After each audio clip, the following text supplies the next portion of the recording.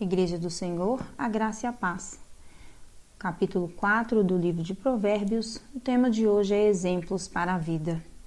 Lembrando a vocês, irmãos, que cada estudo, inclusive este, fica disponível nas plataformas digitais da igreja, pelo YouTube, Spotify e Amazon.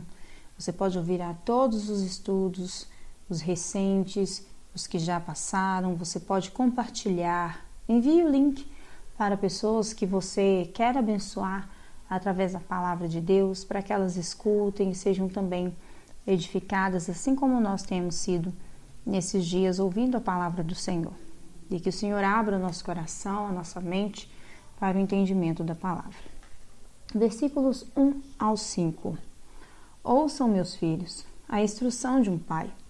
Estejam atentos à obtenção e discernimento. O ensino que lhes ofereço é bom, por isso não abandonem a minha instrução. Quando eu era menino, ainda pequeno, em companhia do meu pai, um filho muito especial para minha mãe, ele me ensinava e me dizia: Apegue-se às minhas palavras de todo o seu coração. Obedeça aos meus mandamentos e você terá vida. Procure obter sabedoria e entendimento. E não se esqueça das minhas palavras nem delas se afaste. Nesses versículos, podemos perceber a importância de reter os bons ensinamentos dados pelos nossos pais. Cada filho, quando recebe um ensinamento, é importante que retenha, que abra o seu coração, porque esses ensinamentos são sabedoria e boa doutrina que vão nos ajudar a viver, a progredir na nossa vida. Salomão aqui mostra que Davi investia tempo para ensiná-lo as virtudes de uma pessoa que teme ao Senhor. Os pais dão exemplo. Eles precisam apontar o caminho aos seus filhos e não só isso, acompanhar os seus filhos na jornada, trazendo a eles segurança, trazendo a eles discernimento e ajudando nas, nas situações que forem difíceis, nas situações em que necessite ali de um amparo, para que não só eles se sintam acolhidos, mas que vejam em seus pais, em suas mães, um alicerce e um exemplo bom, digno de ser seguido e copiado. Versículos 6 ao 9. Não abandone a sabedoria e ela o protegerá. Ame-a e ela cuidará de você. O conselho da sabedoria é: procure obter sabedoria. Use tudo que você possui para adquirir entendimento. Dedique autoestima à sabedoria, e ela o exaltará. Abrace-a, e ela o honrará. Ela porá um belo diadema sobre a sua cabeça e lhe dará de presente uma coroa de esplendor quanto mais buscamos a sabedoria, investindo nosso tempo, investindo também recursos financeiros para esse fim, mais seremos pessoas prudentes, guardadas, abraçadas por essa sabedoria, ou seja, completamente envolvidos por ela, de forma que ela vai se tornar como uma joia fina, mas no nosso caráter. O nosso caráter vai se tornar aprovado quando nós formos cheios, abundantes em sabedoria. As nossas atitudes, melhor ainda, né? Vão demonstrar esse caráter refinado através da prudência, da sabedoria e do conhecimento. Versículos 10 ao 13. Ouça, meu filho, e aceite o que digo, e você terá a vida longa eu o conduzi pelo caminho da sabedoria e o encaminhei por veredas retas. Assim, quando você for por elas, não encontrará obstáculos. Quando correr, não tropeçará. Apegue-se à instrução, não a abandone. Guarde-a bem, pois dela depende a sua vida.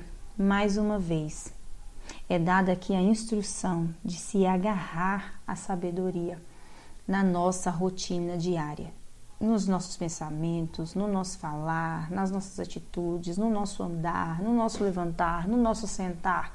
Ou seja, em cada momento do nosso dia. Precisamos estar com os nossos pensamentos voltados ao Senhor, clamando a Ele que nos dê sabedoria para lidar com todas as situações que surgirem, sejam elas boas ou difíceis. Versículos 14 ao 17. Não siga pela vereda dos ímpios, nem ande no caminho dos maus. Evite-o, não passe por ele. Afaste-se e não se detenha, porque eles não conseguem dormir enquanto não fazem o mal. Perdem o sono se não causarem a ruína de alguém, pois eles se alimentam de maldade e se embriagam de violência. A vereda do justo é como a luz da alvorada. Existem vários convites durante a vida. Convites para caminhos fáceis, duvidosos, que nos levam ao tropeço, ou seja, ao pecado. E cada um de nós é tentado por alguma fraqueza que tem. Então, vem daí a importância da sabedoria. Ela vai nos ajudar a resistir ao pecado desde o início. Naquele pequeno momento inicial, naquela pequena faísca que teima em se tornar uma grande chama, forte, acesa, que consome. Se tem algo que nós precisamos fugir, nos afastar ao máximo, mudar a nossa rota para nunca encontrar, é com o pecado. Porque ele é destrutivo, é aterrorizante as consequências que ele faz na vida de quem o pratica. Versículos 18 ao 23. A vereda do justo é como a luz da alvorada, que brilha cada vez mais até a plena claridade do dia. Mas o caminho dos ímpios é como densas trevas, nem sequer sabem em que tropeçam. Meu filho, escute o que eu lhe digo. Preste atenção às minhas palavras. Nunca as perca de vista, guarde-as no fundo do coração pois são vida para quem as encontra, saúde para todo o seu ser. Acima de tudo, guarda o seu coração, pois dele depende toda a sua vida. O caminho dos justos deve sempre ser de luz, e essa luz deve ser cada vez mais brilhante. A comparação que pode ser feita aqui nesses versículos é como o sol, bem forte, ao meio do dia, visível para todos aqueles que olham.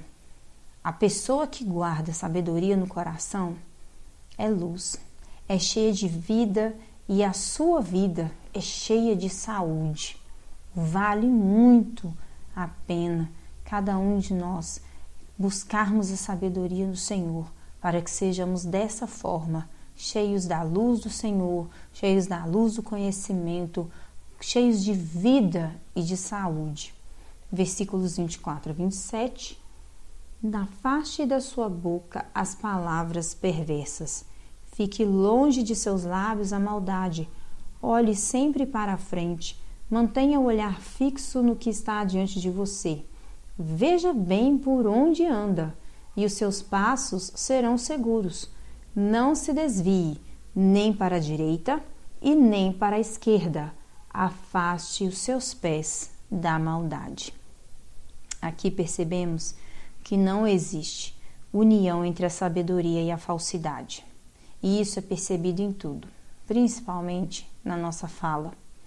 Os sábios evitam falar mentiras e evitam enganar o seu próximo. A sabedoria de Deus aponta os olhos para o caminho correto que nós devemos andar, de forma que não haja nenhum desvio de rota e que nós sejamos livres de todo mal, que nossos pés sejam livres da maldade. Que o Senhor nos ajude a perseverar na nossa fé. Que o Senhor encha o nosso caminho, a nossa mente de sabedoria, para que sejamos preservados de todo mal, para que não venhamos dar lugar ao pecado nas nossas vidas e saibamos fazer boas escolhas nos momentos bons e nos momentos complicados que vierem à nossa mente e à nossa vida. Que Deus abençoe você e a sua família e até o próximo estudo.